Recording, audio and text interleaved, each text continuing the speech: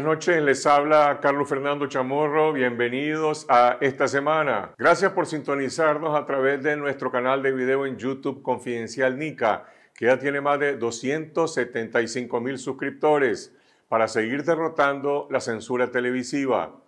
Nosotros continuamos demandando la devolución de la redacción de Confidencial, que fue asaltada y ocupada ilegalmente por la policía por segunda vez el pasado 20 de mayo.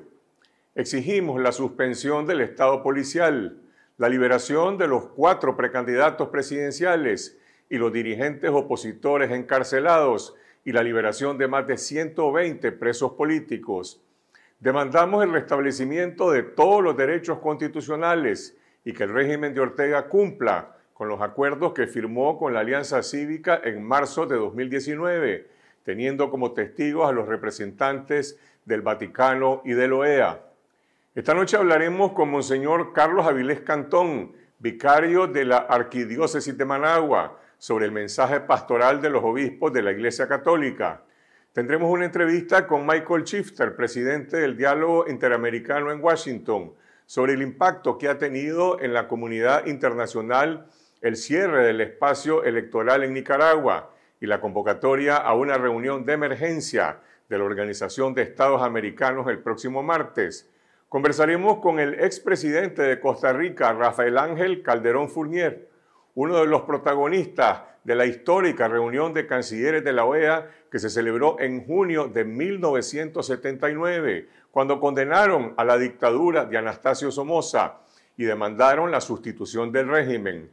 Y para conocer la posición de la ONU en la crisis nacional, tendremos una entrevista con Alberto Brunori, representante de la Oficina del Alto Comisionado de Naciones Unidas para Derechos Humanos para América Central y República Dominicana.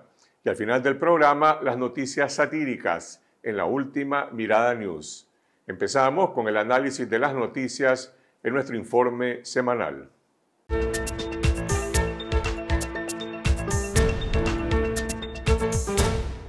Este fin de semana el régimen de Daniel Ortega ordenó el arresto ilegal contra el general en retiro Hugo Torres, la ex guerrillera Dora María Telles y las activistas Tamara Dávila, Suyen Barahona y Ana Margarita Vigil, todos dirigentes del movimiento político UNAMOS, antes conocido como MRS.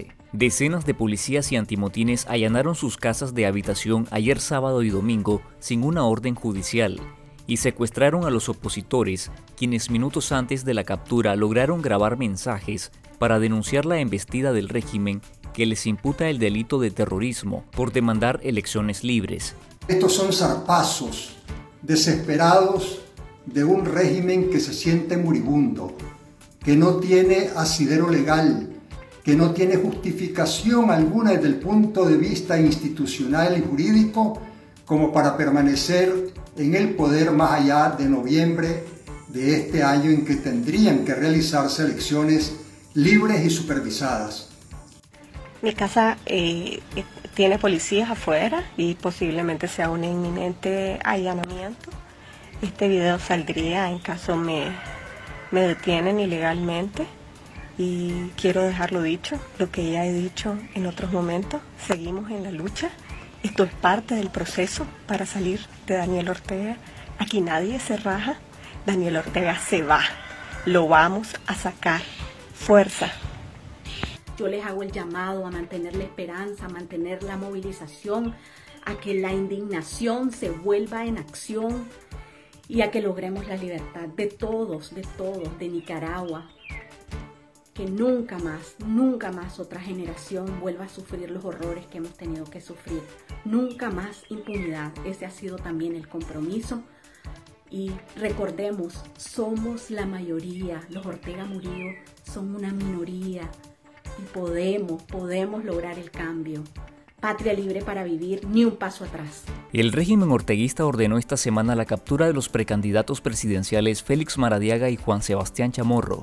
Estos se suman a Cristiana Chamorro y Arturo Cruz, por lo que ya son cuatro los precandidatos presidenciales encarcelados por la dictadura. También fueron apresados en el Chipote los activistas opositores Violeta Granera de la Unidad Nacional Azul y Blanco, José Adán Aguerri, expresidente del COSEP y también miembro de la Alianza Cívica, y José Palé de la Coalición Nacional.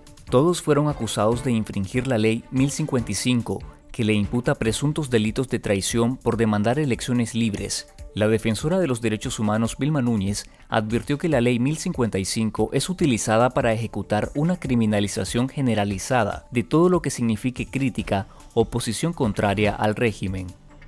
Fíjate que significa eh, la aplicación del propósito para que fue creada, la, la criminalización generalizada de todo lo que signifique crítica o, posición contraria a la dictadura. Eso definitivamente, ante, ante la falta de la comisión de delitos concretos con que juzgarlo, entonces han hecho esta ley que es una especie de bolsón donde van a meter a todo mundo y además ya han avisado que, lo, que van a juzgar a todo mundo. La Organización de los Estados Americanos debatirá este próximo martes la escalada de la represión política contra precandidatos presidenciales, activistas opositores y periodistas emprendida por el régimen de Daniel Ortega y Rosario Murillo. El secretario general de la OEA, Luis Almagro, expresó en una carta enviada al presidente del Consejo Permanente del organismo, Ronald Sanders, que debería considerarse la activación de los mecanismos necesarios para la aplicación del artículo 21 de la Carta Democrática Interamericana, que implica suspender a Nicaragua como miembro de la OEA. En el programa Conclusiones, que transmite la cadena CNN en español, Almagro expresó que cuando el ejercicio del poder no se hace de acuerdo al Estado de Derecho Democrático, es una dictadura, refiriéndose al sistema de gobierno de Daniel Ortega y Rosario Murillo. Los obispos de la Conferencia Episcopal de Nicaragua llamaron a evitar que en el país se institucionalice la restricción arbitraria a las libertades ciudadanas, la persecución contra opositores y medios de comunicación, la persistente situación de injusticia, leyes en detrimento de los derechos humanos, asedio y hostigamientos políticos. En un mensaje que divulgaron este viernes, el Consejo Superior de la Empresa Privada también se pronunció sobre la nueva escalada represiva del régimen, afirmando que estamos siendo víctimas de la mayor crisis política y de derechos humanos de la historia reciente, y exigió la liberación de su expresidente José Adán Aguirre, los precandidatos presidenciales y todos los presos políticos secuestrados por la dictadura. La comunidad internacional también alzó su voz en contra de la escalada represiva del régimen el jefe de gobierno español Pedro Sánchez emplazó directamente al dictador Daniel Ortega, instándolo a que juegue limpio, que libere a los opositores y que concurra en juego limpio y en buena lid al proceso electoral. Me gustaría dirigirme personalmente y directamente al presidente Ortega, que juegue limpio, que libere a los opositores y que concurra en juego limpio y en buena lid a ese proceso electoral. El presidente de Guatemala, Alejandro Yamatei, también pidió este jueves la liberación de los presos políticos en Nicaragua, mientras que el presidente de Costa Rica, Carlos Alvarado, calificó como preocupante la oleada represiva del gobierno. Los ministros de Relaciones Exteriores de Costa Rica, Belice, Guatemala, Panamá, República Dominicana también llamaron a la inmediata liberación de los líderes de la oposición en Nicaragua. La Unión Europea advirtió sobre el deterioro de la situación política en Nicaragua y condenó las acciones contra partidos de oposición, periodistas y defensores de derechos humanos y la sociedad civil. El Departamento del Tesoro de los Estados Unidos sancionó al presidente del Banco Central de Nicaragua, Ovidio Reyes, y al director del Instituto de Previsión Social Militar, el general de brigada del Ejército Julio Rodríguez Valladares, al diputado del Frente Sandinista Edwin Castro y a la asesora presidencial Camila Ortega, por apoyar al régimen en socavar la democracia, abusar de los derechos humanos, promulgar leyes represivas con graves consecuencias económicas y tratar de silenciar a los medios de comunicación independientes. También siete senadores estadounidenses enviaron una carta al presidente Joe Biden instándole a tomar medidas adicionales en respuesta a la represión en Nicaragua, incluyendo considerar la continuidad del país en el Tratado de Libre Comercio entre República Dominicana y Centroamérica con Estados Unidos.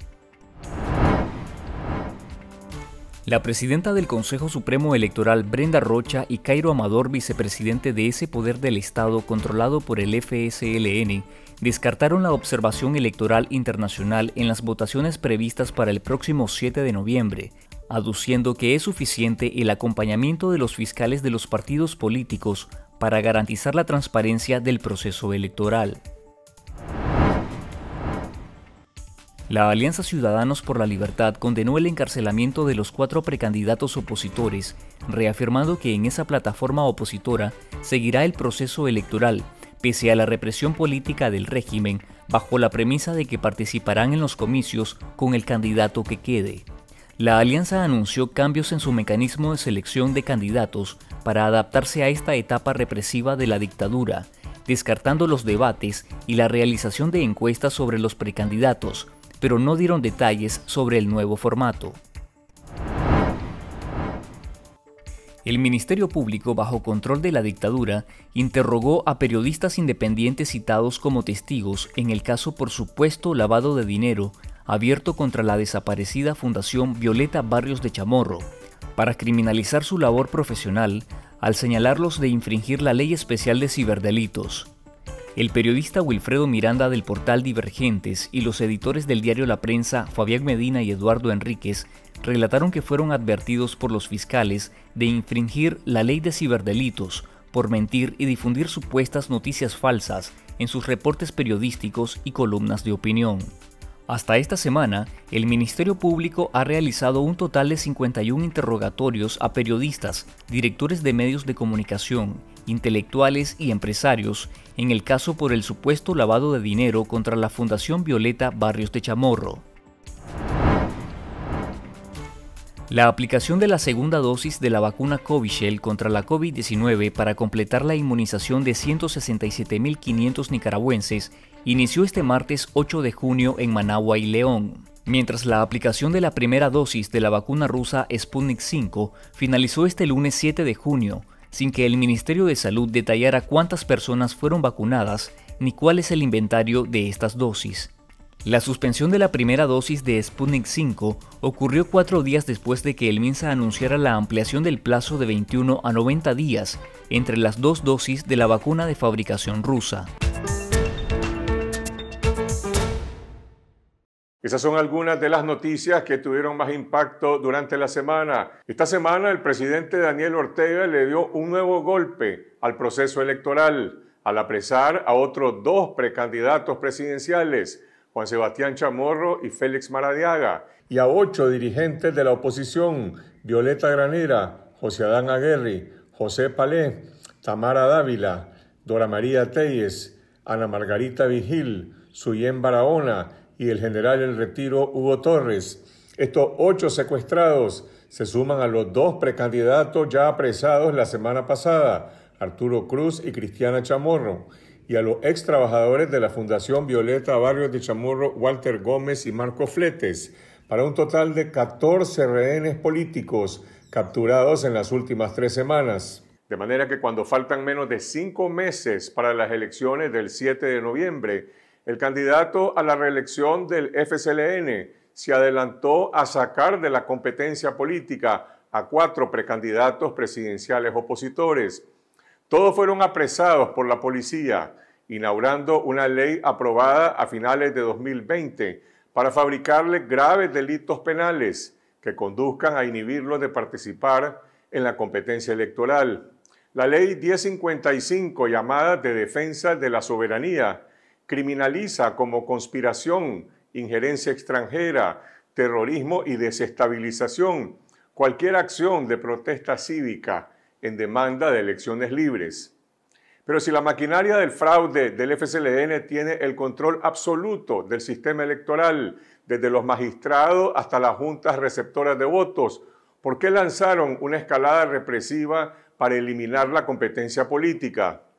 La única explicación plausible sobre esta embestida irracional es que Ortega concluyó que nunca podría ganar unas elecciones competitivas contra un candidato único de la oposición, aún sin garantías ni observación internacional.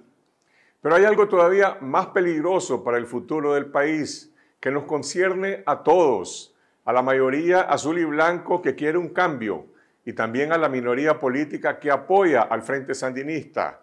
Y es que para mantenerse en el poder sin democracia ni elecciones libres, Daniel Ortega está saltando al vacío de la radicalización política. Y la gente ya se está preguntando si lo que pretende es adoptar el modelo político de Cuba y Venezuela de partido único y de partido hegemónico. ¿Cuáles serán las consecuencias económicas y sociales para los nicaragüenses? ¿Qué viabilidad puede tener el gobierno que surgirá de una nueva reelección de Ortega sin competencia política, cuando se está colocando al borde del abismo de la ilegitimidad nacional e internacional? La única solución para evitar una crisis aún peor en 2022 es restablecer ahora el camino hacia elecciones libres. Y la salida está aquí en Nicaragua, no en el exterior, y empieza por la liberación de todos los presos políticos. Y como han dicho los obispos de la Conferencia Episcopal de la Iglesia Católica, los nicaragüenses no podemos aceptar que se institucionalicen la restricción arbitraria e ilegal a las libertades ciudadanas, la persecución contra opositores y medios de comunicación, la persistente situación de injusticia, las leyes en detrimento de los derechos humanos, el asedio y los hostigamientos políticos. Nicaragua necesita elecciones transparentes, no fraudulentas, dicen los obispos de la conferencia episcopal. Mientras tanto, todos los nicaragüenses que estamos en la indefensión somos rehenes de la dictadura. Y ahora vamos a conocer las implicaciones del mensaje pastoral de la Conferencia Episcopal de la Iglesia Católica. Nuestro colega Elmer Rivas conversó con Monseñor Carlos Avilés Cantón, vicario de la Arquidiócesis de Managua, y esto fue lo que nos dijo. Gracias, Monseñor Carlos Avilés, vicario de la Arquidiócesis de Managua, por esta entrevista. Este viernes la conferencia episcopal hizo público un mensaje a la nación en que pone en perspectiva la profunda crisis de derechos humanos que atraviesa el país. En él se refiere a que hay que evitar que en nuestra patria se institucionalice la restricción arbitraria e ilegal a las libertades ciudadanas, la persecución a opositores y medios de comunicación. Sin embargo, eso es lo que se está viviendo precisamente en el país en este momento, ¿cómo pueden los ciudadanos frenar la institucionalización de la suspensión de sus libertades? Mire, en primer lugar, es un mensaje que dirigido al pueblo de la gente de buena voluntad, eh, procura llenar de esperanza a las personas para que no pierdan la esperanza pues, en salidas pacíficas, en salidas democráticas. Eh, la iglesia siempre va a ser repito, un llamado a la conciencia del pecador, pues eh, hablando en este sentido religioso, la iglesia no tiene manera de coartar, pues, siempre pues oramos y llamamos a la conciencia del que está actuando mal, a decirle, pensar, reflexionar, está haciendo mal, desandar los pasos y caminar por el camino bueno. La conferencia episcopal en el mensaje de este viernes hace pues ese mensaje de esperanza. En primer lugar se enfoca en la pandemia que nos está afectando grandemente y la responsabilidad que tenemos de cuidarnos. En segundo lugar, esta situación política igual en la que ciertamente pues, se denuncia esta injusticia, pero es un llamado a reparar, a, a recomponer esas cosas y a las personas a no desanimarse, a participar en soluciones sociales, a participar en las cuestiones sociales, a expresar su opinión, a expresar su voz, a pesar de toda la represión. Y finaliza pues haciendo un llamado siempre, como siempre, pues a la oración y a encomendarnos al Señor y a confiar en el Señor y que Él es nuestra esperanza, Él es nuestra fuerza para seguir adelante. En el mensaje, los obispos también abogan por unas elecciones libres, transparentes y observadas. Sin embargo, lo que apreciamos es el reforzamiento del aparato institucional que favorece el fraude acompañado de leyes que despojan a los ciudadanos de sus derechos civiles y políticos. ¿Qué espera ahora la Iglesia en este año electoral? ¿Esperan, es posible un cambio para este 2022? Mira, la esperanza siempre se tiene. Eh, el cómo, eh, eso es difícil, es algo que los políticos tendrán que trabajar. La iglesia simplemente hace el llamado a que nos interesemos, que nos interesemos en las cuestiones sociales, que no seamos meros espectadores, que no seamos indiferentes pues, ante lo que está pasando, sino que nos interesemos todos y hagamos lo que toca a nuestra parte para eh, buscar soluciones pacíficas y democráticas al país.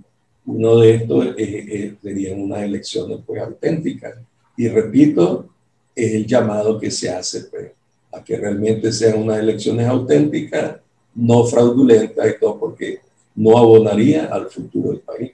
La Comisión de Justicia y Paz de la Arquidiócesis de Managua, en su más reciente mensaje, también denunció las abiertas violaciones hacia los derechos humanos en un año en que los nicaragüenses han esperado las elecciones libres para optar a un cambio democrático. ¿Qué visión tiene ahora también sobre este año electoral en el que el gobierno ha intentado eliminar la competencia política a través de leyes represivas? Nosotros estamos en, perfecta comunión y siguiendo a los obispos, pues la Comisión de Justicia y la doctrina social del Papa. Siempre creemos en el llamado a la conciencia del que está haciendo mal, decirle está haciendo mal, regresar los pasos, cambiar. Y por eso pues le decimos al pueblo de Dios pues que nos entristece que se violen los derechos humanos. Violar a un derecho humano de un nicaragüense ya rebajaste a todos los nicaragüenses. Ya, eh, entonces, eso es lo que estamos, estamos diciendo y esperamos que, que la gente piense en, el futuro de cómo eh, hacer bien la institucionalidad de este país, cómo construir una base sólida de este país. En este momento hay condiciones para que se desarrollen en el país elecciones libres y prepararse para ellas. Esta es una opinión muy personal. Para mí no hay condiciones. Hay mucha gente que opina eh, que no se puede eh, simplemente dejar de ir a unas elecciones eh, por muchas razones. Pues hay unos que es perder la, la, costumbre de participar en cuestiones sociales, es dejar libre al gobierno para que haga un fraude, etcétera. Y hay muchas razones pues, por las que hay que procurar siempre participar, a pesar de que todas las condiciones sean adversas. Hay precisamente. Que el gobierno quisiera que nadie participe en elecciones. Monseñor, en las alocuciones diarias en los medios oficiales, la vicepresidenta Rosario Murillo llamó a los representantes de la Iglesia Católica de ridículos y los acusó de aprobar hurtos y robos. ¿Se sienten aludidos por este tipo de señalamientos? Bueno, mira, en primer lugar, de manera personal, mm, no escucho, nunca he escuchado esos mensajes. Eh, no los escucho, pues. Y en segundo lugar, esos mensajes son dirigidos a un sector, pues, ellos, le hablan a, sus seguidores, a sus partidos. A, mí no me, a mí no me están dirigiendo un mensaje. Ellos le están dirigiendo un mensaje a, su, a, a sus seguidores, a sus propios partidos políticos. Como te digo, yo, a mí no me, en primer lugar ni lo oigo. Alguien me habrá mandado pues esa noticia, me habrá dicho que hizo comentarios, pues, pero como te digo, son comentarios hechos para sus seguidores el pueblo nicaragüense sabe que la iglesia es reflejo de la sociedad en que vive. Si la sociedad en que vive es una sociedad desarrollada, rica económicamente y toda la iglesia eso va a reflejar. Si la sociedad nicaragüense es una sociedad pobre, reprimida, perseguida y con las manos arriba, así está la iglesia también, con las manos arriba, perseguida y todo. Digan lo que digan, como te digo, esos mensajes son para sus partidarios, sus seguidores la propaganda oficial también ha amenazado con las leyes represivas a sacerdotes y líderes religiosos de la Iglesia Católica. ¿Está la Iglesia Católica siendo perseguida en este momento? Ya lo hemos dicho varias veces, desde luego que está siendo perseguida de, diversas maneras y eh, por diversos eh, elementos pues, que tú percibes cuando no te dejan actuar libremente, no te dejan introducir ayuda, eh, no te dejan actuar libremente cuando te, te, ponen policía cerca de los templos, cuando levantan las placas de los que personas que van a las misas. Hay ciertamente una persecución. Sabemos que todas esas leyes que aprobaron el año pasado, o este año, no recuerdo cuándo fue que las aprobaron, es para, eh, se fueron hechas para justificar la represión. Para justificar la represión, eso es clarísimo. Hice una ley para justificar lo que te voy a hacer. Eso no da legalidad. Eso es todo lo contrario. Pues quién en un tiempo de crisis sociopolítica, ¿quién se pone a legislar? Solamente el que le conviene, solamente el que quiere amañar una ley. Y, y, no busca las soluciones fundamentales realmente al problema social, que es desempleo, hambre, eh, falta de seguridad social, falta de salud, falta de educación. Esos temas no se abordan, más bien se le quita al presupuesto nacional dinero a esos rubros y se me invierten más en, otros aspectos como esto, pues de las leyes de la Asamblea Nacional, esto, en estos tiempos de crisis pues no corresponde su protagonismo, o a la salud, porque que se ha organizado en torno a, frente al COVID, la iglesia y otras organizaciones privadas el año pasado tomaron la iniciativa de empezar a, a protegerse porque oficialmente no hubo ningún plan así de decir, protejámonos del COVID hasta después. Entonces, eh, ciertamente eh, las leyes fueron creadas pues, para justificar.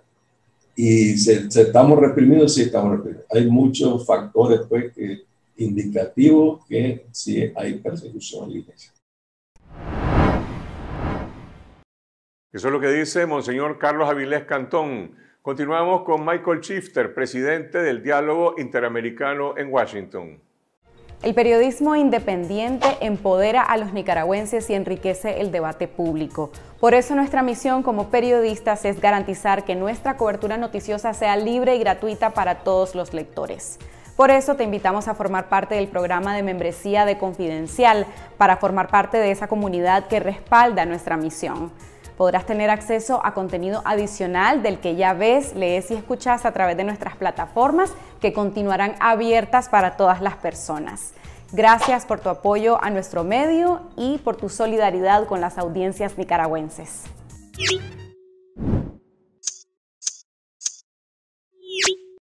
Y ahora nos comunicamos hasta Washington con el politólogo Michael Shifter presidente del Diálogo Interamericano, uno de los principales centros de análisis sobre América Latina en Estados Unidos. Le preguntamos sobre el debate de la comunidad internacional ante la crisis de derechos humanos y la anulación de la democracia que está viviendo Nicaragua. Y esto fue lo que respondió. Michael, ¿cómo valoras el impacto que ha tenido en la comunidad internacional el encarcelamiento de cuatro precandidatos presidenciales y otros líderes opositores en Nicaragua a menos de cinco meses de las elecciones de noviembre, que ya estaban cuestionadas eh, por otros factores, pero ahora se está impidiendo la competencia eh, de la oposición. Bueno, yo, me parece que el impacto de lo que ha pasado últimamente con la persecución eh, y las barbaridades del de régimen eh, ha dejado la comunidad internacional en un estado de, no creer. Eh, esto parece algo de hace, de, un patrón de hace 30 años.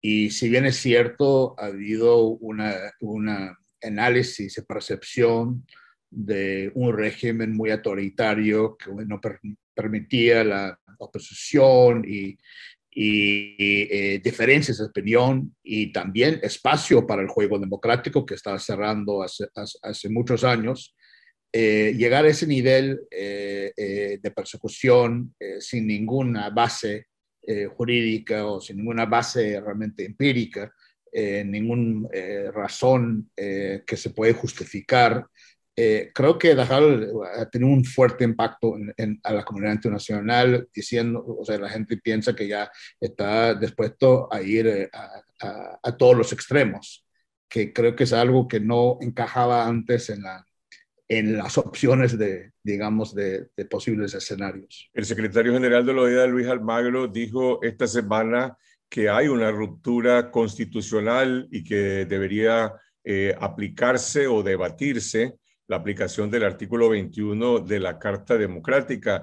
¿Qué implicaciones tiene que Almagro ahora señale al régimen de Ortega como una dictadura, igual que lo hizo antes con Cuba y Venezuela? A mí me parece eh, muy importante y eh, bienvenido eh, en buena hora. Yo creo que ya ha habido antes de todo esto, lo último, justificación para llegar a la conclusión que estaba trabajando con, una, con un régimen con, dictatorial, pero ya con lo último no hay ninguna duda.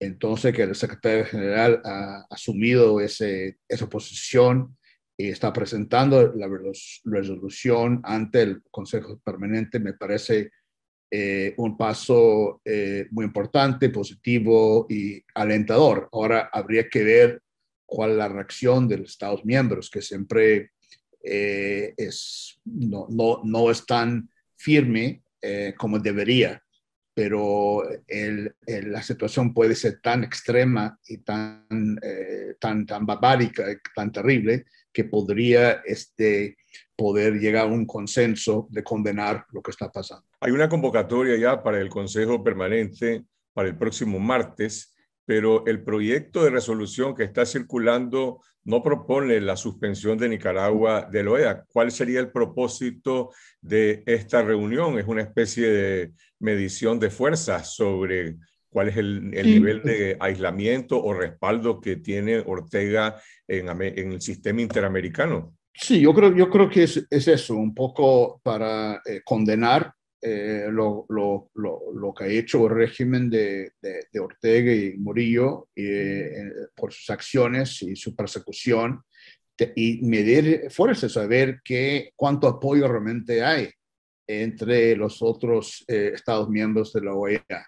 Eh, yo creo que hay bastante apoyo para esto, pero yo creo que hay que decirlo de términos muy claros. El compromiso en general, más allá del caso nicaragüense, la voluntad de, eh, y compromiso a la norma de defensa colectiva a la democracia cuando está en peligro en América Latina, ese compromiso, esa voluntad ha, bajado, ha bajado. No es tan fuerte, a mi juicio, como era pero tal vez el caso de Nicaragua es tan, tan extremo y tan preocupante y tan barbárico que esto podría eh, empezar a generar por lo menos algún nivel de acuerdo y consenso mínimo para condenar y después si no hay, digamos, eh, si no hay corrección, si eh, no hay marcha atrás por parte del, del gobierno de, de, Ortega, podía luego pensar y medir fuerzas si hay condiciones para eh, una resolución para suspender eh, Nicaragua de, de, la OEA. Pero yo creo que tal vez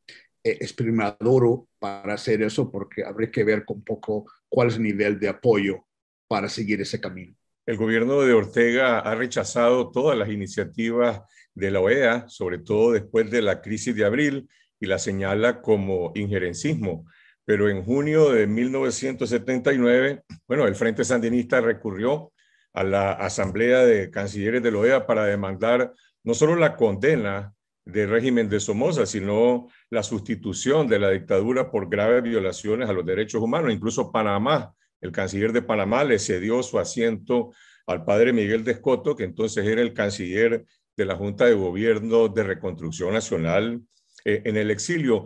¿Tiene alguna resonancia este reclamo de Ortega ante la OEA de supuesto injerencismo? Bueno, vamos a ver, ojalá, entiende, no sé cómo es su memoria sobre este, esta época, fue otra época hace muchos años, eh, pero es cierto, pero, pero ya tenemos, eh, tenemos muchos ejemplos, eh, Carlos Fernando, cuando la gente recurre a la OEA cuando le conviene y también ignora la OEA también cuando le conviene para mantener el poder. Entonces, no sé hasta qué punto este, este eh, comparación de lo que pasó en 79 podría eh, generar algún optimismo o algún ánimo que esto podría ser diferente eh, en cuanto al impacto de una decisión de la OEA sobre la dictadura de, de Ortega. El secretario de Estado de Estados Unidos, Anthony Blinken, ha estado muy activo esta semana, ha tenido contactos con la canciller de España, con el canciller de Argentina,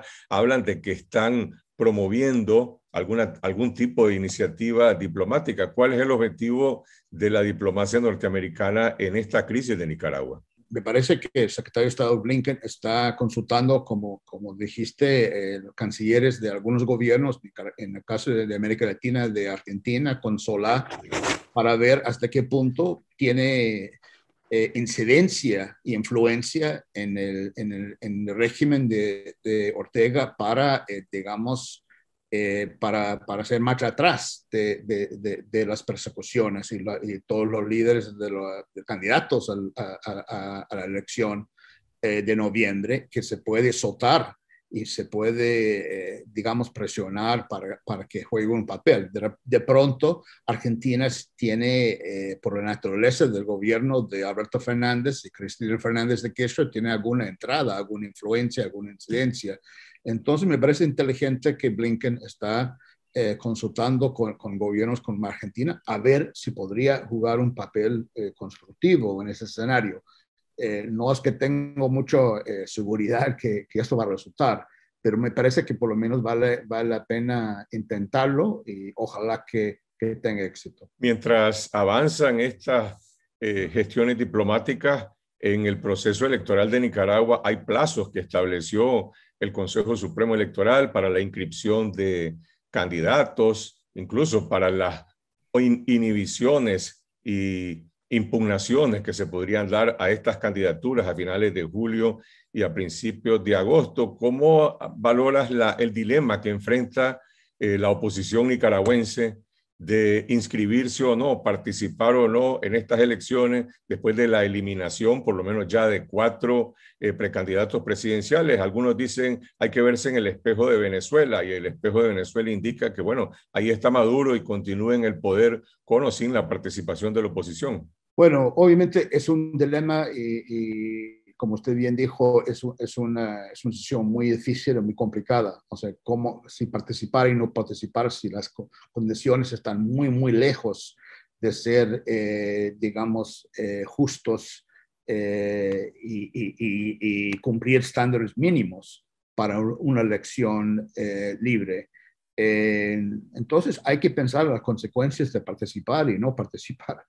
Eh, si no participa, eh, está dejando la cancha totalmente libre a, a, a Ortega y le, a veces elecciones, por lo menos, aunque no, no son legítimas para nada, permite por lo menos tener alguna dinámica política propia en cuanto a eh, tener líderes, tener estrategia y, y ser activo en, en, la política. Un poco hacer, eh, dejando la cancha y no participar es un poco, un poco eh, eh limpiar la cancha y, tener, y dejarlo totalmente a, régimen. En algún momento, pase lo que pasa, eh, y no, no, sabemos qué va a ser el desenlace de esta dictadura, pero en algún momento habrá una oportunidad para eh, hacer otro tipo de gobierno y otro tipo de política. Y entonces el argumento eh, para participar es que por lo menos se mantiene viva eh, la vida política, la dinámica política de Venezuela. Pero obviamente es una decisión muy complejo y, y como tú bien señalaste, eh, en el caso de Venezuela, eso ha sido debatido eh, en muchos, muchas elecciones. En general, al final, el balance es que eh, es mejor participar, reconociendo que eh, no son eh, elecciones libres y justas y no hay un terreno, digamos, equilibrado eh, para ambas partes. Pero estando el país, digamos, bajo estado policial, no hay libertad de reunión, no hay libertad de movilización, hay cuatro precandidatos presos, despojados ya de sus derechos políticos y en proceso de consumarse esa inhibición porque están investigados por 90 días, eh, lo, cual, lo cual impone una especie de condena eh, anticipada ¿Puede esta participación darle alguna legitimidad a unas elecciones que bueno, es sí, no son creíbles ni competitivas? Ese es el dilema exactamente como tú acabas de plantear de, que ha enfrentado los venezolanos, que también muchos están prohibidos, eh, líderes prohibidos de, a participar, a estar afuera del país, están en el exilio. Eh, entonces, sí, el argumento no es no hay ninguna, no ha permitido ninguna competencia, ningún desafío a su poder. Eh, y no participar me parece una decisión totalmente legítima, válida y defensible. Yo no estoy de acuerdo, pero uno tiene que pensar en un poco las, las consecuencias de las decisiones. Solamente estoy diciendo eso. y es un dilema eh, muy difícil y cualquier decisión que se toma lleva consecuencias preocupantes. ¿Cuáles son las consecuencias para Ortega de ir a una elección y lograr su reelección sin competencia política en unas elecciones eh, no creíbles, en unas elecciones que están siendo cuestionadas en primer lugar por los nicaragüenses y también por la comunidad internacional que está abriendo este debate en la Organización de Estados Americanos. ¿Qué impacto tendría esto sobre la legitimidad de ese quinto periodo de gobierno de Daniel Ortega? Yo creo que no hay cuestión sobre la legitimidad de, Daniel Ortega en, poco en el análisis de la comunidad internacional en, general. Eh, no tiene legitimidad, eh, no ha cumplido con los estándares mínimos de democracia, de una, de, una elección eh, libre y abierta. Entonces yo me parece que, que él, él, no, aún sí hay sectores de la oposición que, que participan en la elección, eh, todo mundo reconoce que, eh, que, que, no tiene ninguna credibilidad el régimen en cuanto a, una, un gobierno democrático. Yo creo que en eso hay, enormes consenso a nivel internacional. Entonces yo creo que, yo creo que él está, Mire, yo creo que él, él ha tomado la decisión, me parece a mí, desde afuera, eh, que él va a luchar hasta el final y va, eh, a, digamos, eh, va, a terminar su, su, su, en, el poder luchando hasta el final. pero yo creo que él no tiene legitimidad ninguna por, por, por, las acciones que han, tomado, aún antes de la última serie de barbaridades que ha cometido contra eh, otros candidatos. Ahora, esta radicalización del régimen de Ortega está aplicando elementos, al menos en lo político, de los modelos de Cuba y Venezuela. ¿Tendría viabilidad en este país sin legitimidad y en una Nicaragua que es una economía abierta, es una economía privada? Esta no es una economía controlada por el Estado como Venezuela y, Cuba. Sí, e, eso es, eso es, esa es la diferencia importante, eh, la, parte, económica, y por, lo tanto hay instrumentos eh, que están analizando, no sé si usted vio una carta que acaba de salir de siete senadores, me parece muy bien, que habla de, de eh, un poco estudiar el CAFTA, el, el Tratado de Libre Comercio, en lo cual Nicaragua está participando yo creo que hay instrumentos y opciones de política pública en este caso que no están en el caso de Cuba y no están en el, en el caso de Venezuela, siempre por el hecho que, que, que, que Nicaragua tiene otro modelo eh, económico. Y también hay, hay, que también siempre pensar en, en, cuando se habla de sanciones, que es un instrumento que ha sido aplicado contra individuos, si quiere hablar de sanciones más amplias, y el, eh, NICA Act, eh, aplicar esto, eh, también hay que tomar en cuenta las consecuencias sobre los nicaragüenses, las consecuencias económicas que ya están en una condición muy grave y puede ser peor. Entonces, yo no, yo no, yo no, yo no creo, mi percepción no va al modelo económico de, de, Cuba y Venezuela.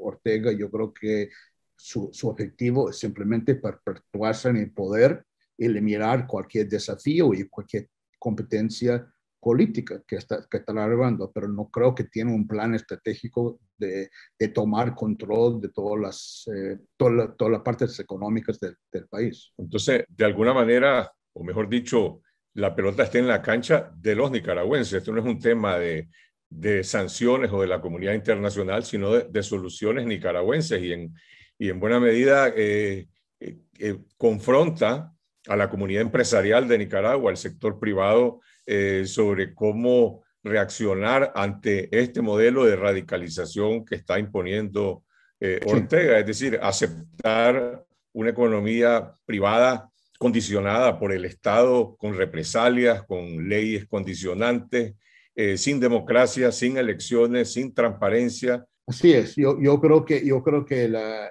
el sector privado nicaragüense tiene un jugar fundamental para, e, en este escenario y tiene que tomar la decisión porque esto, esto obviamente es una, lo que está haciendo Ortega hace mucho daño a Nicaragua, eh, lo isla de la comunidad internacional, es un paraya a nivel internacional y eso tiene un costo y consecuencia para el país. Y para un eh, empresario, un miembro del sector privado nicaragüense interesado en el largo plazo del país y eh, eh, un poco integrar Nicaragua en mecanismos de integración regional e internacional, esto lo que está pasando es obviamente contra de sus intereses de largo plazo. Si está dispuesto a, a tomar una posición eh, contra el régimen, esto es otra pregunta, pero yo creo que esto, va, eso, eso, esto es muy negativo para los intereses del, del sector empresarial nicaragüense. Las prioridades de la administración Biden en torno a Centroamérica hasta hoy han estado centradas en el problema migratorio, el problema de la corrupción y el déficit de democracia en el Triángulo Norte de Centroamérica. ¿Cómo encaja esta crisis de Nicaragua en el contexto de la región? Bueno, yo creo que es muy difícil ignorar eh, esta crisis eh, para la administración Biden. Cualquier administración que, que dice, eh, que, como dice Biden, que está animado por los valores democráticos, eso es lo que ellos, motivado por los valores democráticos, no asumieron una posición muy firme con respecto al régimen de, de, de, Ortega, no va a nadie va a tomar en serio. Entonces, si bien cierto que hay, hay más presión política interna, doméstica, sobre el tema migratorio desde los, los países de los llamados Triángulo Norte. Eh, también Biden, para tener alguna credibilidad sobre el tema democrática, tiene que asumir una, una posición muy firme, muy dura y también eh, eh, dedicar tiempo que está haciendo eh, Anthony Blinken hablando con otros cancilleres y otros eh, oficiales, autoridades altas de otros países para ver eh, qué se puede hacer para tratar esa situación. Entonces, no tiene opción, si es una administración seria y comprometida de democracia, ignorar lo que está pasando en Nicaragua. ¿Qué queda, qué se puede hacer en los próximos cinco meses? El único mensaje que Ortega ha dado visualizando el futuro es que dice, después de las elecciones, vamos a llamarlo para hacer un diálogo nacional. Es un mensaje también eh, a la comunidad internacional, es decir, a imponer las reglas del juego después de su reelección. ¿Hay algún margen de una negociación política, diplomática, antes de llegar a esa reelección sin legitimidad? Bueno, esperamos, esperamos que sí. Yo creo que, yo creo que hay que hacer todo el esfuerzo posible a nivel internacional eh, para presionarlo para que haya, una, un diálogo antes de la elección del 7 de, noviembre. O sea, esto es algo, eh, tiene que, yo creo que, yo creo que tiene que aumentar la presión y hay instrumentos para hacerlo. Creo que lo que estamos viendo estos días en la OEA, eh, con el secretario de Estado, con la carta de siete senadores de mucho peso y mucha influencia, a Joe Biden, al presidente Biden, son pasos importantes. Si son garantías que eso se va a revertir y va a ser suficiente para convencer a Ortega, no sé. Eh, esto es algo que uno tiene que hacer y seguir la presión, aumentar la presión, pero si va a resultar, yo creo que sería ingenuo eh, decir que, bueno, estamos seguros que esto va a tener un impacto, porque la realidad es que no sabemos. Lo que sí sabemos es que hasta ahora, a mi juicio lamentable, no ha habido suficiente presión y fuerza externa sobre este gobierno. Y por fin, están despertando. Yo creo que es un poco tarde, pero bienvenido. Eh, mejor eh, tarde que, nunca. Eh, pero si va suficiente para revertir, no, esto es muy difícil de decir. Y la otra certeza que podríamos tener es que el 2022 podría ser peor que el 2021 si las cosas continúan en este curso, es decir, si se consuma este proceso de eliminación de las elecciones y reelección del régimen de Ortega sin legitimidad. Sí, no, las cosas, las cosas pueden aún más, más feos y más, eh, más, duras en, eh, en Nicaragua en, en, 2022. No hay ninguna garantía que después de las elecciones la situación se, se mejora, aún si la elección es totalmente sin ninguna participación y competencia de la oposición, eh, esto puede ser eh, usado como un pretexto para, para reprimir más. Eh, y no hay ninguna, nadie sabe, no tiene ninguna seguridad que esto se va mejor hasta después de que Ortega se, se, se está reelegido en, en, en, en, noviembre. Así que estamos ante una situación realmente situación muy terrible eh, y, y, creo que la comunidad internacional, para ser muy franco, eh, está totalmente eh, impactado por, por, lo que está ocurriendo, pero hay cierto sentido de impotencia.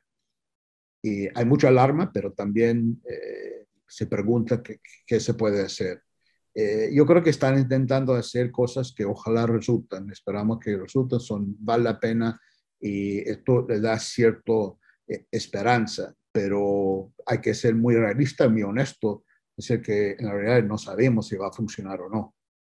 Ojalá que funcione, eso es lo que podemos esperar y, y, y ser más inteligente eh, posible y para hacer cosas a lo cual responde eh, y eh, que el régimen siente la presión eh, por, por Estados Unidos y también por otros actores. Es muy importante que Estados Unidos no actúe solo, porque eso se puede eh, es un regalo para Ortega, esto si es algo Estados Unidos contra Nicaragua. Eh, se repite la misma historia. Por lo menos, por lo tanto, eh, consultando con Argentina, España, es, me parece importante y la resolución de la OEA también, si hay un respaldo para, amplio para un condena al régimen, tal vez preparando el terreno para la expulsión de, de Nicaragua después, esos son caminos más, a mi juicio, eh, productivos. Eso es lo que dice Michael Shifter, presidente del Diálogo Interamericano en Washington. Y a propósito de ese evento histórico que ocurrió hace 42 años en la OEA, cuando en una reunión de cancilleres se adoptó una resolución condenando a la dictadura de Anastasio Somoza de Baile por graves violaciones a los derechos humanos y la OEA demandó la sustitución del régimen de Somoza. Conversaremos con uno de los protagonistas de esta resolución, el expresidente de Costa Rica, Rafael Ángel Calderón Fournier. En esa reunión, Calderón Fournier era el ministro de Relaciones Exteriores de Costa Rica en el gobierno del presidente Rodrigo Carazo. Veamos lo que nos dijo desde San José, Costa Rica, sobre esta histórica resolución de la OEA en 1979. Don Rafael Ángel, en junio de 1979, usted era canciller de Costa Rica y participó en la reunión de cancilleres de la OEA que condenó a la dictadura de Anastasio Somoza por graves violaciones a los derechos humanos y demandó el reemplazo del régimen de Ortega. ¿Cómo adoptaron los cancilleres de la OEA esta decisión histórica? Bueno, mire, yo creo que fue la condena más grande que se ha hecho en la historia contra un régimen, en este caso el régimen de los Somoza en Nicaragua. Eh, no recuerdo que haya habido otra más fuerte. Y fue tan importante la condena continental que al mes cayó la dictadura. En esa reunión, el canciller de Panamá, Juan Antonio Tac, le cedió un asiento en su delegación al padre Miguel de Escoto, Así que era parte del grupo de los 12 del Frente Sandinista y era el canciller de la Junta de Gobierno que en ese momento estaba establecida en Costa Rica y en la lucha en Nicaragua con las guerrillas del Frente Sandinista. ¿Hubo alguna objeción para la participación del delegado del Frente Sandinista en la OEA? No, no la hubo porque él no fue acreditado como delegado del Frente Sandinista. Para cumplir con las partes legales, él fue acreditado como miembro de la delegación de Panamá. Y Panamá, como país soberano, podía integrar su delegación con las personas que nombrase. Entonces, él fue eh, miembro de la delegación de Panamá y en esas condiciones fue que pudo entrar y que pudo eh, tomar la palabra también en la reunión. En ese momento, ¿qué países lideraban eh, esta reunión? Es decir, eh, usualmente se, se, se, señala a la OEA de ser una, un vehículo, un instrumento de la política de Estados Unidos. Los países latinoamericanos, ¿qué peso tenían en este debate sobre la crisis de Nicaragua? Bueno, mire, hablemos un poco, Carlos, para que recordemos que esto es hace 42 años, pero fue algo tan importante que todavía lo tengo fresco. Mire, recordemos cómo estaba la situación de América Latina en ese momento. Prácticamente la inmensa mayoría de los gobiernos latinoamericanos estaban bajo la bota militar. Es decir, los únicos países que no teníamos un régimen militar gobernándonos éramos México, Costa Rica, Colombia, Venezuela y República Dominicana. Y estos cinco países fuimos los que lideramos precisamente la resolución, el proyecto de resolución para llegar a convencer al resto. Sí tengo que decirle que los Estados Unidos apoyaron fuertemente esto. No lo estaban haciendo al principio, Carlos Fernando. Esto es algo muy interesante lo que ocurrió. No lo estaban haciendo al principio, así tan decididos me refiero. Pero en eso, en media reunión, ocurre el asesinato de uno de los periodistas de la televisión eh, más renombrados en Washington y de más fama en ese momento en Washington. Usted recuerda cuando eh, la Guardia Nacional tomó al periodista, lo tiró al suelo, él rendido, y ahí mismo eh, lo acribillaron. El periodista Bill Stewart.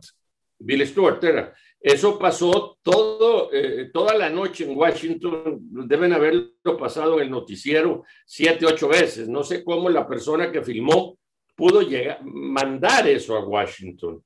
Fue tal lo que la reacción que hubo que al día siguiente, saliendo el presidente Jimmy Carter con su secretario de Estado, Cyrus Vance, hacia Corea, viajaban, Mandaron entonces a Warren Christopher, que era el segundo, el secretario de Estado adjunto, al frente de, la delegación americana y se veía definitivamente eh, una instrucción muy clara de que los Estados Unidos tenían que lograr esa condena. Y entonces fue muy importante el apoyo de los Estados Unidos porque la condena se da con los votos exactos. Había que lograr dos tercios de votos y logramos dos tercios de votos. Por supuesto, se opuso el régimen somocista, se opuso Pinochet, se opuso Stroessner. Es que vea cómo estaba la situación en esos momentos en nuestra América Latina, ¿no? Se opusieron Guatemala y, Salvador. Hubo un caso interesante en Honduras. El canciller hondureño firmó la resolución. Nosotros entramos con 18 votos, no con 17. El canciller hondureño firmó la resolución. Ahora, el detonante, la dictadura de Somoza tenía, era una dictadura dinástica, tenía décadas de estar en el poder, pero el detonante de esta crisis es la crisis, es la represión, la crisis de los derechos humanos en Nicaragua. En, en, septiembre de 1978, la Comisión Interamericana de Derechos Humanos había hecho un reporte, un informe sobre el genocidio, el bombardeo a las ciudades y las atrocidades perpetradas por la dictadura. Ese es el elemento detonante. Sí, así fue, no hay duda. Ahí es donde usted lee la resolución, es una condena precisamente por la violación constante eh, de los derechos fundamentales del ser humano, de los derechos humanos. Eso es clarísimo, ¿no?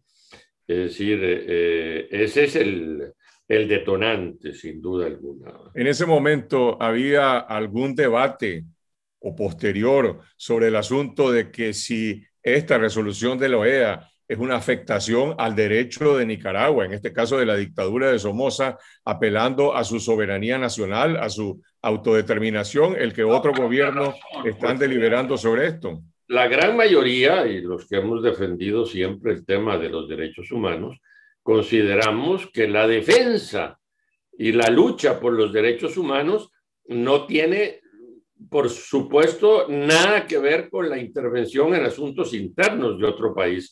Esto está por encima eh, de cualquier principio de no intervención, porque primero que nada está el respeto a la vida, el respeto a los derechos fundamentales del ser humano.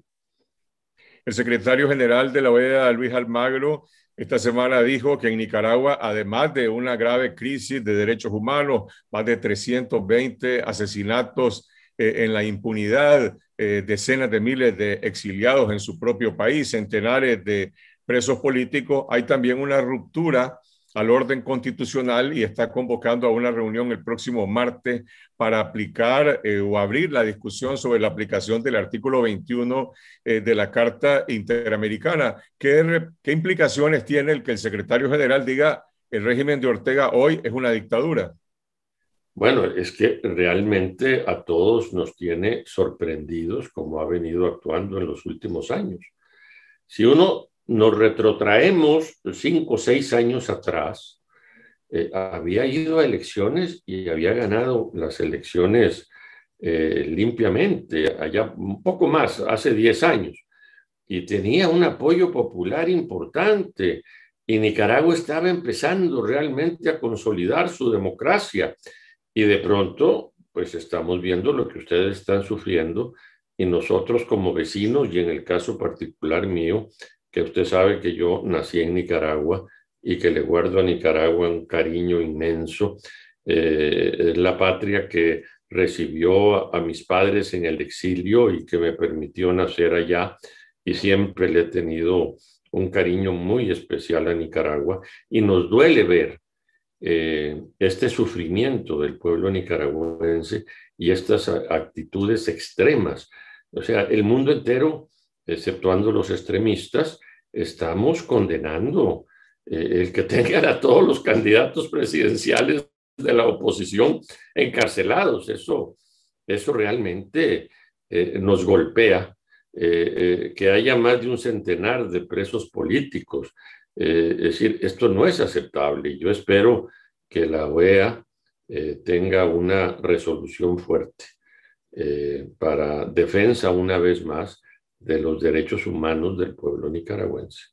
Como ha dicho usted, la condena a la dictadura de Somos ocurrió hace 42 años en otro contexto. ¿Hay alguna lección histórica que puede sacar hoy América Latina, el sistema interamericano sobre esa dictadura frente a esta nueva dictadura de Ortega que va a estar en discusión el próximo martes en Loea. En aquel entonces, a mi juicio, funcionó el sistema interamericano. Tan funcionó que un mes después de la condena esta tan terrible cayó el régimen somocista. Ortega alega que esta convocatoria es un acto de injerencia. ¿Tendrá esto resonancia en el concierto de América Latina hoy de quienes se van a reunir en Loea el martes. Vuelvo a insistir, el, el, respeto a los derechos humanos está por encima de cualquier principio de injerencia en asuntos internos. Eso está primero que nada. Eso está por encima de todo. ¿Cuál es la posición del actual gobierno de Costa Rica en esta crisis, en este debate que se llevará a cabo el próximo martes? Bueno, eso habrá que preguntárselo a ellos. Recuerde que yo soy parte de la oposición, no del gobierno. Sin embargo, he visto con mucho agrado cómo condenaron la detención de Cristiana Chamorro eh, y cómo pues, han estado eh, en esto solidarios con el pueblo de Nicaragua. Muchas gracias, don Rafael Ángel. Con todo gusto, a sus órdenes, Carlos Fernando, y mis respetos, y aprovecho para enviarle mi cariño de siempre al pueblo nicaragüense. Continuamos con la posición de las Naciones Unidas en la crisis de derechos humanos de Nicaragua. Mi colega Elmer Rivas conversó con Alberto Brunori, representante de la Oficina del Alto Comisionado de Naciones Unidas para Derechos Humanos para Centroamérica y República Dominicana y esto fue lo que nos dijo.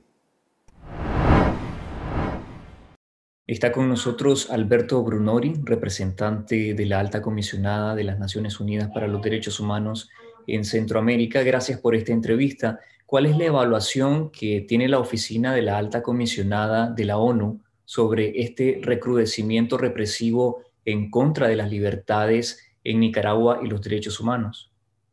En eh, Nicaragua tenemos un equipo desde 2018, desde los hechos de 2018, dedicado al monitoreo de la situación de derechos humanos en Nicaragua.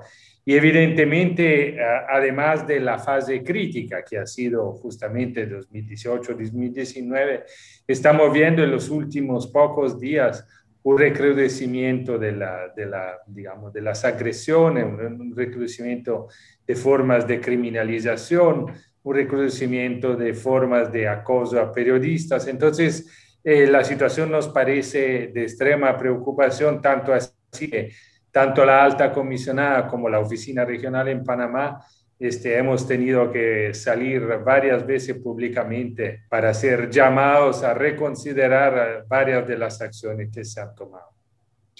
En este momento se encuentran arrestados cuatro precandidatos presidenciales, también otras figuras de la oposición y más de 120 reos de conciencia que llevan meses, incluso años, en prisión. ¿Ha pasado algo parecido en la historia reciente de la, región de flagrantes violaciones a los derechos humanos civiles y políticos? Mire, Elmer, nosotros de derechos humanos no nos gusta mucho la comparación de países porque cada, cada país tiene su contexto, su historia y, y es difícil comparar tendencias. Lo que sí le puedo decir es que la situación en Nicaragua evidentemente nos preocupa de, demasiado, este, en el sentido que un país de 6 millones y medio de habitantes, más o menos, digamos, que en 2018 ha tenido 300 muertos, eh, 2.000 heridos, eh, alrededor de 100.000 personas que han pedido asilo en, países extranjeros,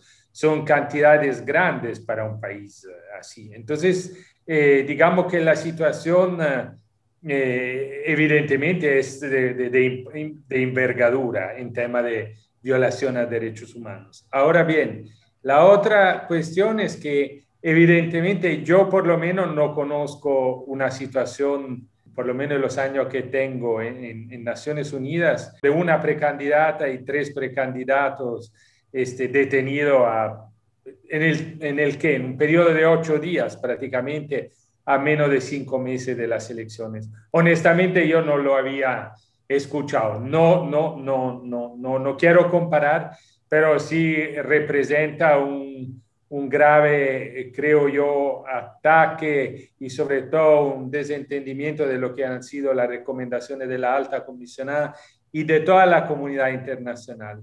Y si me permite, este, quiero decir que yo estoy viendo la prensa eh, todos los días y hay muchísimos países que se han manifestado y no solo los mismos diciembre, es decir, Estados Unidos, eh, etcétera. Pero la OEA en su conjunto con la Comisión Interamericana hemos hecho un comunicado conjunto. La Unión Europea, los 27 países, este, un comunicado bastante duro. Y en Centroamérica, varios países eh, de manera conjunta este, eh, que han sido Belice, República Dominicana, este, Guatemala. Entonces, me parece Costa Rica. Entonces, creo que hay un consenso, hoy vi Paraguay, unas declaraciones, hay un consenso internacional de que la situación es extremadamente preocupante y en vista de las elecciones, pues los llamados son uh, múltiples para que se reconsidere el actual. En dos semanas, el Ministerio Público de Nicaragua ha entrevistado a decenas de periodistas y ciudadanos bajo una investigación de presunto lavado de dinero de la Fundación Violeta Barrio de Chamorro y también ha girado órdenes de prisión preventiva contra opositores. ¿Cómo valoran ustedes el trabajo del Ministerio Público de Nicaragua?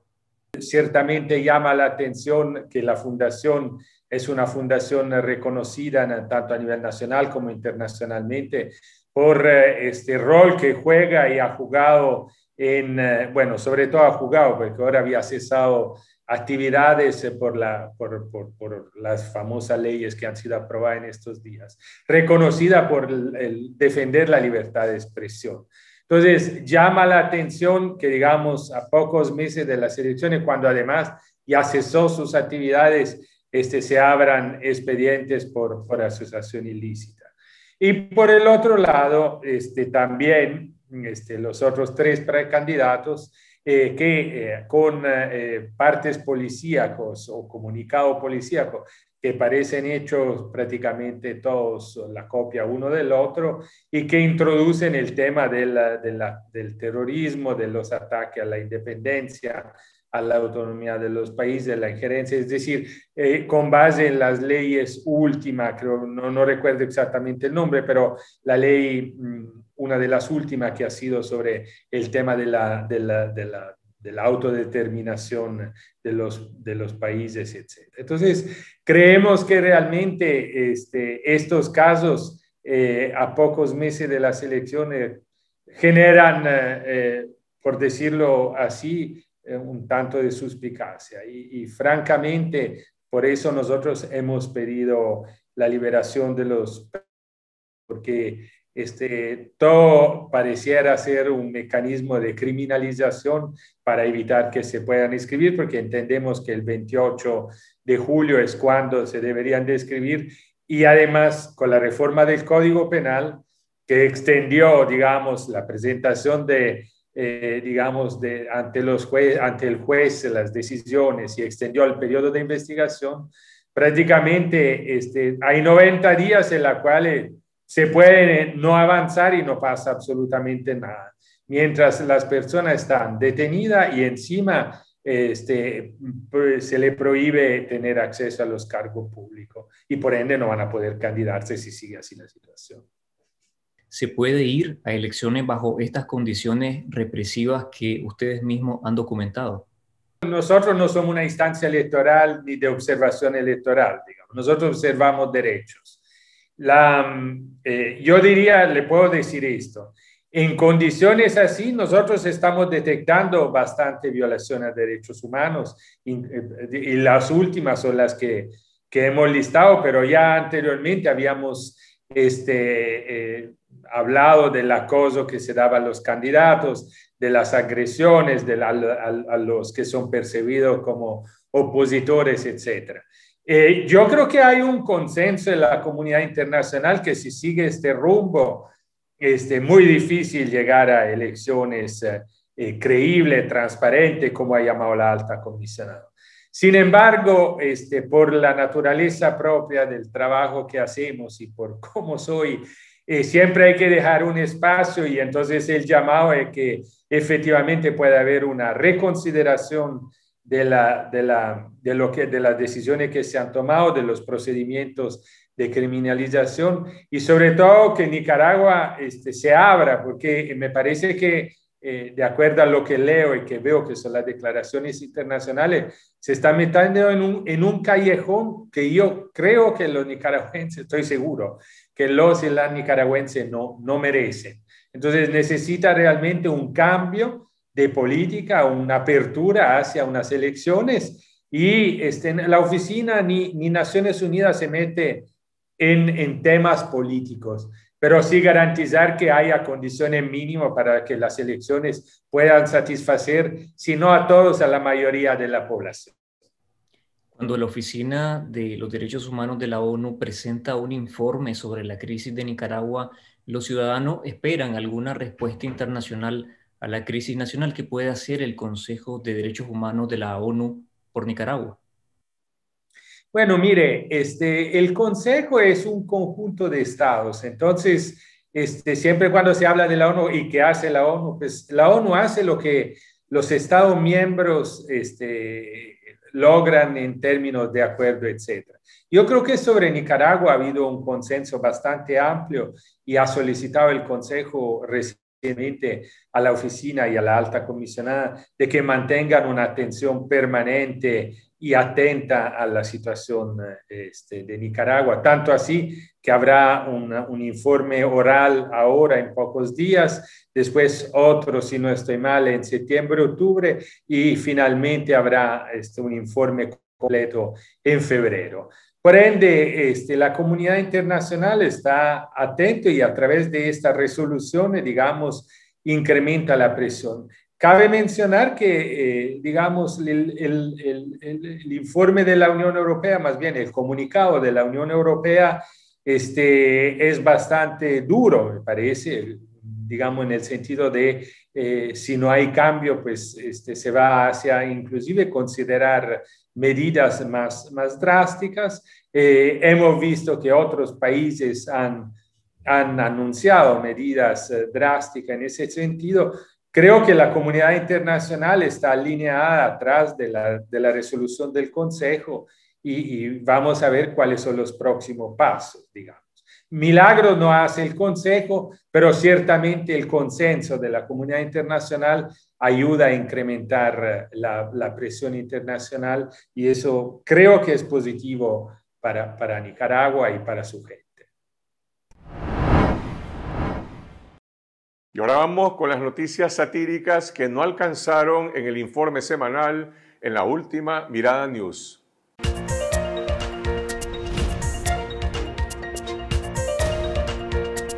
Hola, bienvenidos a la última Mirada News. Soy Juan Carlos Ampie. Esta fue una buena semana para los nostálgicos por las viejas tiranías latinoamericanas. El régimen de Daniel Ortega apresó de manera ilegal y violenta a Félix Maradiaga, Arturo Cruz y Juan Sebastián Chamorro, con Cristiana Chamorro guardando casa por cárcel.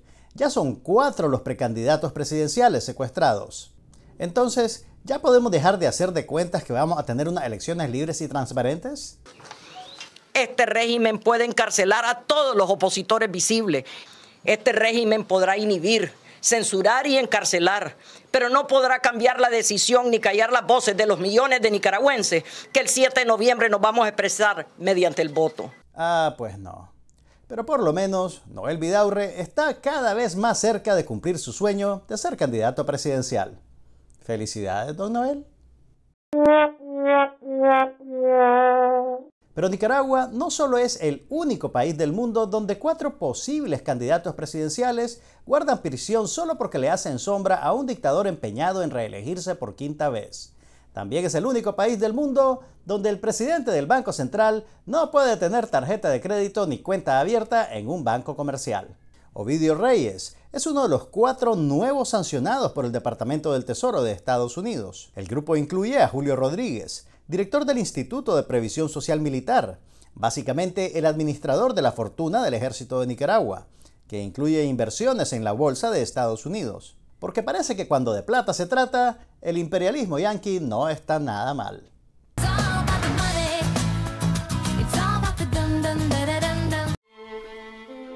Diputado Edwin Castro también alcanzó en la lista, pero por lo menos a él nada le quita el sueño. Nada. Camila Ortega se convirtió en la nueva sancionada de la familia Ortega Murillo y se rumora que está negociando con Estados Unidos.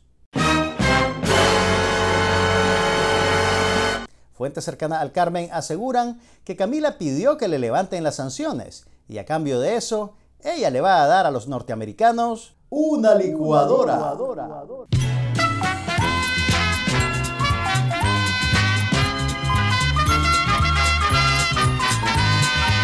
Eso es un chiste. Lo que sí es verdad es que la compañera Rosario Murillo está reevaluando las entregas del electrodoméstico, porque al paso que va la cubanización de Nicaragua, pronto no va a haber nada que licuar.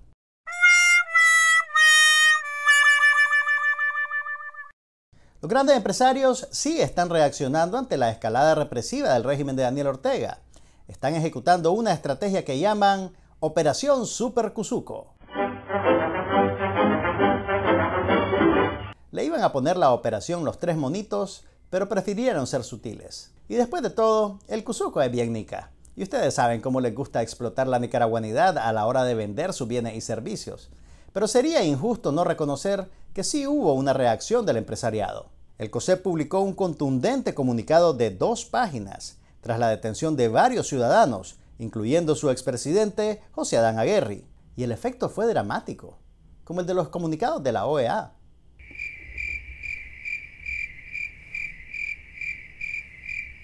Los grandes capitalistas de Nicaragua no tienen nada que decir sobre el desgobierno del país, la muerte de las elecciones y lo que nos espera en el año 2022. Pero no se preocupen. A como suele decirse, sus plegarias están con nosotros. Y cuando el país termine de destruirse, avísenles. Ya están fundando varias empresas de remoción de escombros.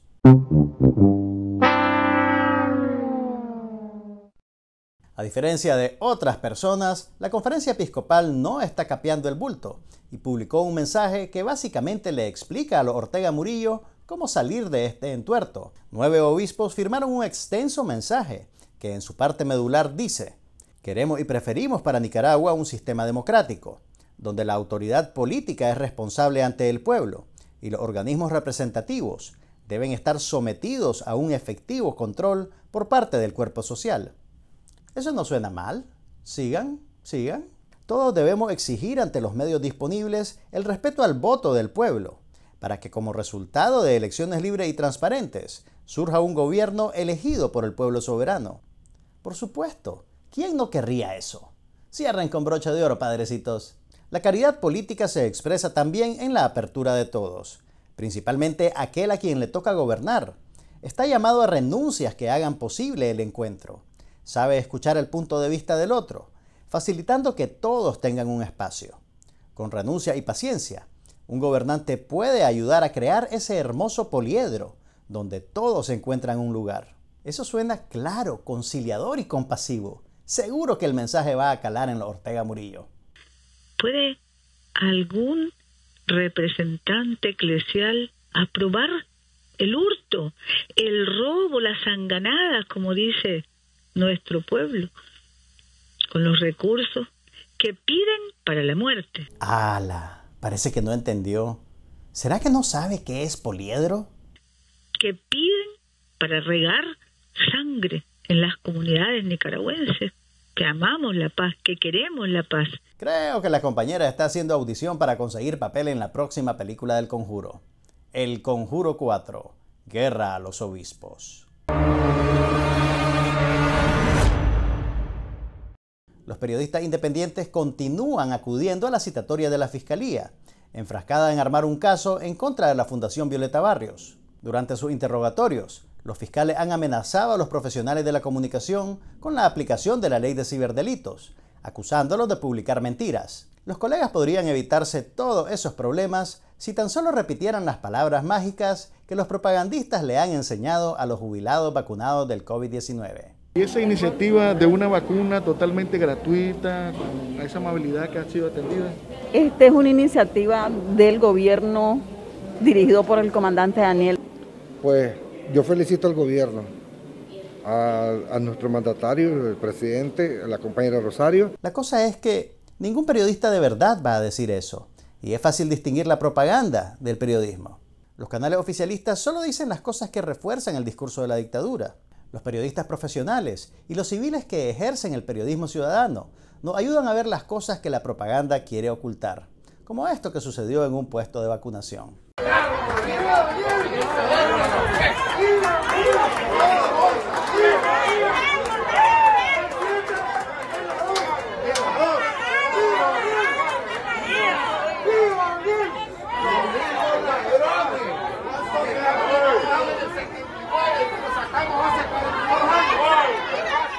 ¿Ya ven? No todos los jubilados siguen el discurso de la dictadura. Por lo menos, perseguir a periodistas de verdad está obligando a los fiscales a leer otra cosa que no sea la propaganda oficial. Y aquí tenemos imágenes exclusivas de un fiscal leyendo una nota de un medio independiente.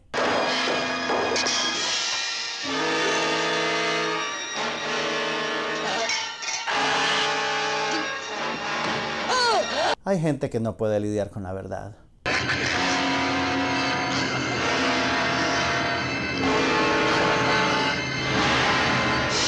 Para finalizar,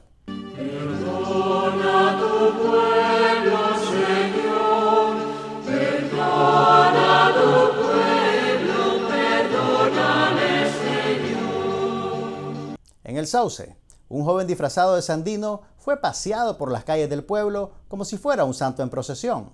Una de dos. O ese maje perdió una apuesta, o el régimen está haciendo hasta lo imposible por quemar el nombre del héroe nacional.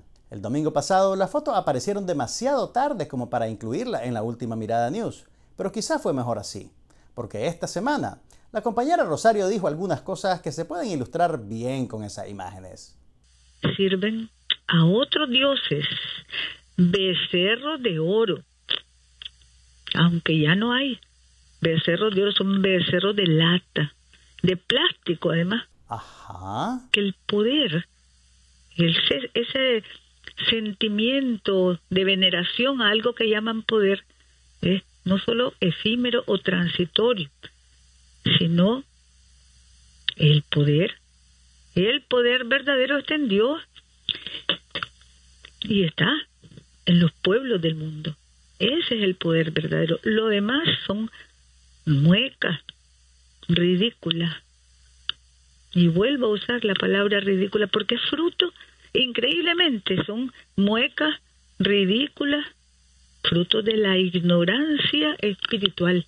Tiene que estar hablando de su propio gobierno, ¿verdad? Buenas noches. Así llegamos al final de esta semana. Nuevamente, gracias a toda nuestra audiencia por su solidaridad. Gracias a todos los medios radiales, televisivos y digitales que se enlazan con nuestra señal. Y si aún no lo han hecho, suscríbanse a nuestro canal de video en YouTube Confidencial Nica. Síganos en Twitter a lo largo de la semana. Y si desean recibir todos los días información verificada con las alertas noticiosas de Confidencial, los invito a suscribirse de forma gratuita al número de WhatsApp 8577 1820. Nos vemos el próximo miércoles en esta noche, siempre a las 8 de la noche. Buenas noches.